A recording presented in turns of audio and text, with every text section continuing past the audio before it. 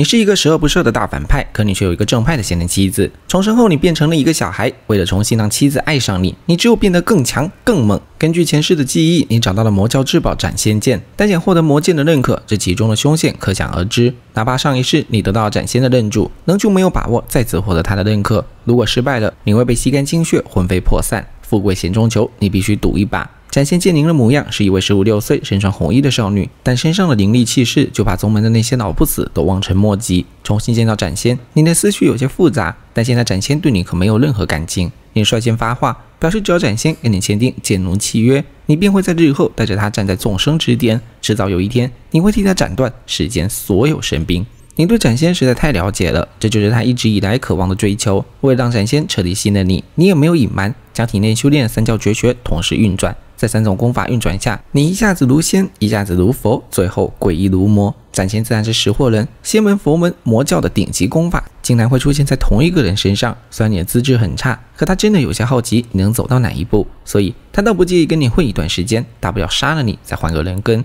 而且你实力太弱了，所以展仙只同意与你签订建筑契约。建筑人奴，顾名思义，剑为主人，人为奴。此言一出，你顿时无语。上一世你签的好歹是剑灵契约。剑与人平等，哪怕上一的魔帝莫天金也是签订了剑灵契约。你虽然很不满，但也只能表现出乐意至极的样子。我愿意成为你的剑奴，展现对你的态度颇为满意。提醒你看清半空中的符文，将它用精血烙印在剑身即可。只是一瞬间，你就感觉到一股恐怖的吸力传来，身上的血液竟被斩仙吞噬，剑身显现出鲜红的纹路。你现在要做的就是按照斩仙的命令，绘制属于你的剑主符文。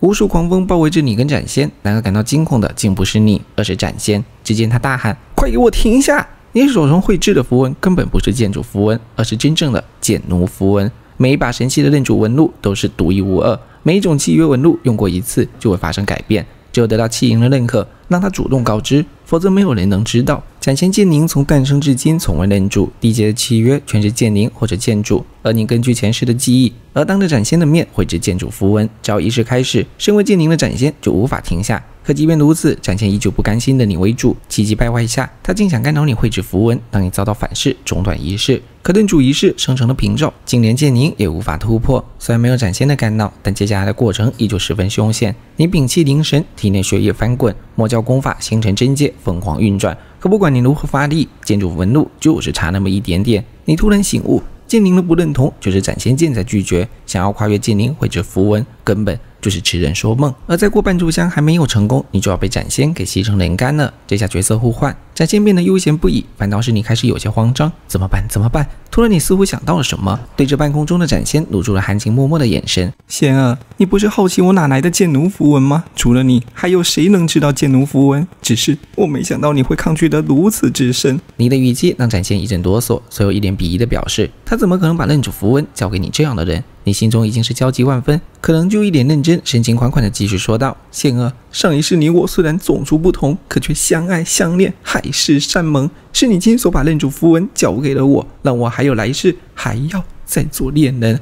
我死后重生于此，才会找到莫天青把你给救出来。只可惜我就要死在你手上了，可我一点都不后悔。”展现那一副难以置信的样子，让你知道有戏了。因为此时的展现是刚诞生不久的剑灵，所以并没有你所想的那么精明。内心的动摇，使得纹路距离完成又近了一点点。你强忍住心中的狂喜，准备继续忽悠，可展现却反应过来，表示如果真是恋人关系，他怎么可能跟你签订主仆契约？为什么不是平等契约？你是个大骗子！我操，这要怎么圆呢？眼看煮熟的鸭子就要飞了，你突然有些不好意思，扭扭捏捏的说道：“仙儿，我没骗你，是你说认主符文是独一无二，代表着你对我的爱。你说你喜欢喊我主人，要一生一世当我的贱奴，哪怕下辈子，那我还要再当你的主人。”话音刚落，展仙就双手抱头，蹲在地上，让你别说了，别说了。绝美的俏脸竟露出潮红，时不时还发出意义不明的笑声，俨然一副被玩坏的样子。而契约在这时完成。从严格意义上来说，你并没有完全欺骗斩仙，因为这认主符文真的是上一世他亲自告诉你的。